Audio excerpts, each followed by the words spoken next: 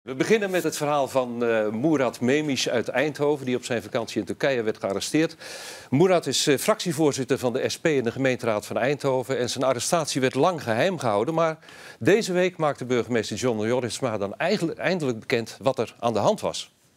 Dames en heren, um, zoals u wellicht uh, is opgevallen is de laatste zes weken is Murat Memis niet meer in ons midden gezien. En dat heeft ernstige redenen.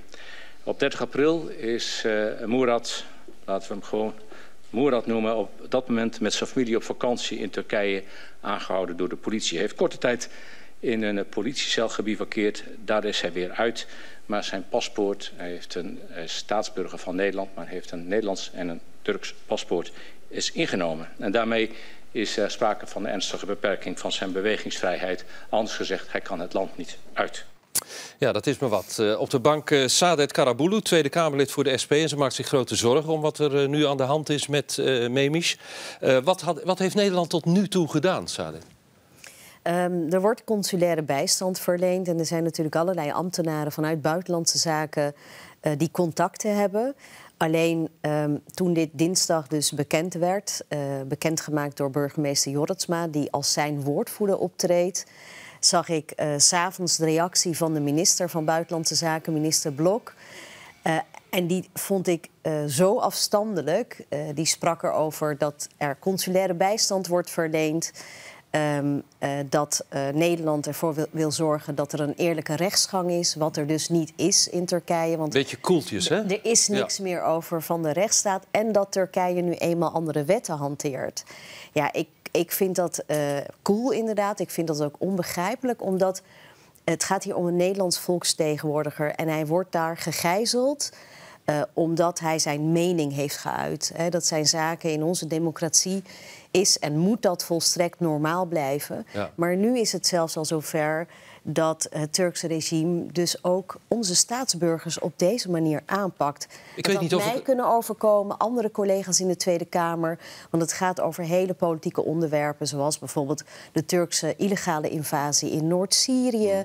Uh, of gewoon je solidariteit tonen met het Koerdisch volk... die toch tegen de IS-barbaren ja. hebben gevochten. Ja. Ik weet niet of ik al gezegd had dat je van de SP bent en Tweede Kamerlid. Uh, je, je, jij kan dus uh, de minister op het matje roepen. Heb je hem al iets gevraagd? Heb je al iets gezegd? Heb je al iets kritiek geleverd? Want je hebt kritiek op hem.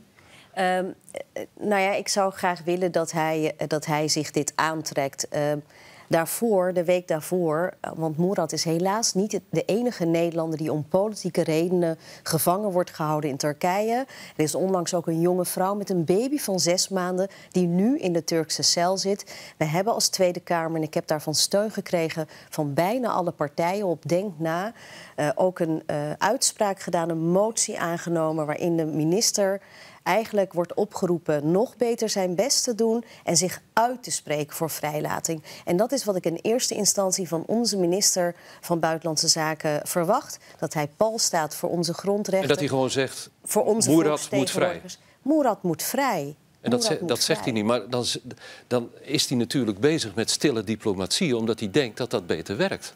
Ja, nou dat is dus ook de reden waarom uh, het zo lang is stilgehouden. Omdat Moerad, burgemeester Jorritsma en anderen hoopten dat het op, uh, met stille di diplomatie opgelost zou worden.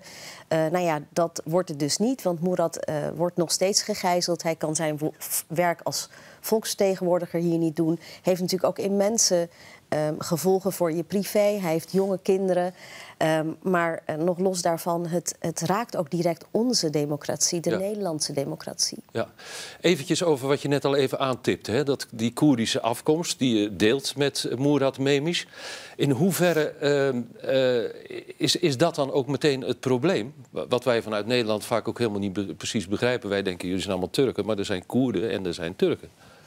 Um, ja, uh, Turken en Koerden en uh, nog heel veel uh, nationaliteiten en minderheden leven vreedzaam samen in Turkije. Alleen er is ook een probleem, het Koerdisch vraagstuk, wat eigenlijk al decennia. Um, Turkije eigenlijk heel veel pijn en verdriet oplevert en ook heel veel slachtoffers heeft geëist.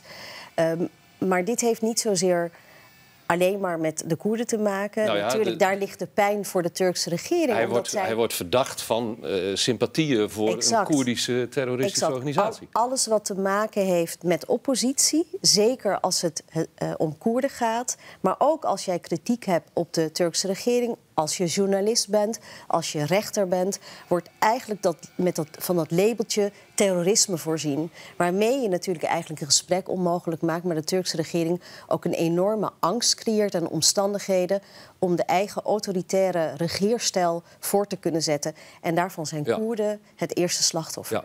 En dit is een spanning in de Turkse samenleving die af en toe ook bij ons in de Tweede Kamer opeens naar boven komt. Daar hebben we een voorbeeld van recent, waar je zelf uh, ja, een van de hoofdrolspelers in was. Kijken we even.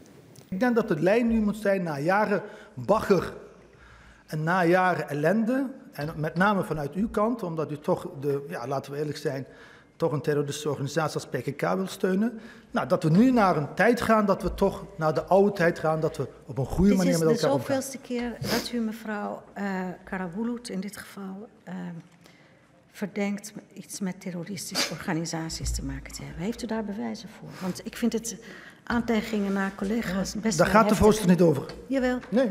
Want het gaat om persoonlijke Nee, daar gaat de voorzitter niet over. U geeft iemand een derde termijn. Vervolgens heb ik, ben ik in discussie met mevrouw Karabulut. En dan probeert u zich daarin te mengen. Ja, dat is nogal wat, wat u hier tegen wat u hier tegen een collega zegt. En ik wil, wilt u even, even een klein beetje tot tien tellen en mij laten uitpraten? Ja, dat is misschien niet zijn sterkste punt, hè, tot uh, tien tellen. Öztürk, de Tweede Kamerlid, collega van je. Heb je veel reacties op dit filmpje gekregen? Ja, kijk, uh, ik, ik heb hem toen ook gezegd... wat u hier doet is precies het probleem wat in Turkije speelt. Namelijk dat je in plaats van in democratie met elkaar te discussiëren, openlijk... Uh, anderen eigenlijk van het stempel terrorisme voorziet, daarmee een target, een doelwit maakt. En daarmee de angst voor de ander voedt om vervolgens, nou ja, uh, we zagen het een dag later, werd bekend dat Murat Mimish uh, is opgepakt vanwege retweets van journalisten en volksvertegenwoordigers. en ja, natuurlijk, dit roept reacties op en dat is misschien nog wel het meest kwalijke. En ik denk ook de reden dat onze voorzitter zo aansloeg, niet alleen omdat hij persoonlijk schoffeert, ja, dat, dat dat gewoon onfatsoenlijk is. Uh, maar ook omdat hij daarmee van mij potentieel ook een doelwit maakt. En natuurlijk, dat roept heftige reacties op. Ja, en dat, ja, dat is toch een teken dat er natuurlijk uh, spanning... Hoe zou je dat op kunnen lossen voordat we het verder over Moerad hebben? Maar uh, dit ligt eronder. Hè? Dit is een grote spanning in de Turkse samenleving... Waar je, waar je van af moet op de een of andere manier. En wat je in elk geval in Nederland niet wil hebben, toch? Nee, natuurlijk niet. Nee, natuurlijk niet. Kijk, en dat is, dat is natuurlijk uh, waarom ik onze democratie ook koester... en waarom we dat met elkaar moeten versterken. Hier moeten we met elkaar nou ja, allereerst die spanningen niet opvoeren. Dat kunnen we met elkaar bespreken. En twee, ik denk dat, dat we één gezamenlijk uitgangspunt zouden moeten hebben. En dat is dat we de democratie versterken hier en daar. Ja. En niemand heeft er wat aan om elkaar hier uh, in de haren te vliegen. Geluk, gelukkig doen de meeste mensen dat ook niet. Maar er zijn natuurlijk ook uh, mensen die dat op de een of andere manier om onbegrijpelijke redenen voeden. Je hebt uh, Moerad gesproken over de telefoon. Ja. kun je iets vertellen over dat gesprek? ja, ik, ik, ik, ik hou contact met hem. De burgemeester die treedt op als zijn woordvoerder. Dus uh, ik, kan, ik kan hier niet uh, als zijn woordvoerder optreden, maar ik kan wel zeggen uh, dat het ontzettend naar is en dat het hem vreselijk veel pijn doet dat hij wordt beticht van iets zwaars, iets groots, terrorisme, terwijl hij zich eigenlijk al zijn leven lang inzet voor vrede. En hij als volksvertegenwoordiger gewoon hier in Eindhoven uh, in de regio zijn werk wil doen. Dus uh, hij, ja, hoopt, hij, hoopt, dat dit echt zo snel als mogelijk voorbij zal wat, zijn. Wat kan hem boven het hoofd hangen in het slechtste geval? Nou ja, een paar jaar cel. Kijk, uh, president Erdogan die heeft de afgelopen jaren enorme repressie toegepast. Hè. Zijn oppositie eigenlijk uh, uitgeschakeld. Maar ook allerlei nieuwe wetten doorgevoerd, antiterrorismewetten, uh, na de mislukte koepoging een aantal jaren geleden. Waarmee hij dus heel gemakkelijk mensen de mond kan snoeren en dus mensen op basis van uitingen, social media uitingen, opgepakt kunnen worden en als terrorist behandeld kunnen worden. Dat moeten we zien te voorkomen. En daarom is het ook zo belangrijk dat de minister zegt: Murat Mimic, onze volksvertegenwoordiger, moet vrij. En hij moet dat duidelijk maken bij zijn Turkse ambtsgenoot Çavuşoğlu. Ja, en dus met de vuist op tafel en niet zo voorzichtig meer. Dat is in elk geval wat je, wat je zojuist ook zei. Ja, hij moet zich gewoon uitspreken. Jullie gaan eh, morgen in Amsterdam een demonstratie uh, houden voor Moerad. Ja, Wat gaat er gebeuren? Ja, we gaan een solidariteitsdemonstratie houden... omdat heel veel mensen iets willen doen uh, voor het Turks consulaat in Amsterdam... op het Museumplein om 9 uur, tussen 9 en 10... waar wij uh, nogmaals daar ook de oproep willen doen... Uh, om te stoppen met dit soort praktijken en zodat Murat zo snel als mogelijk vrijkomt en dat hij weer in Nederland zijn werk kan oppakken als ja. volksvertegenwoordiger. Ja, die heeft het goed benauwd daar in Turkije. Dat kunnen we ons allemaal voorstellen. Absoluut. hij, hij zit weliswaar niet in de, de, vel, maar hij, in, de, in de cel, maar hij voelt zich natuurlijk enorm onvrij. Ja.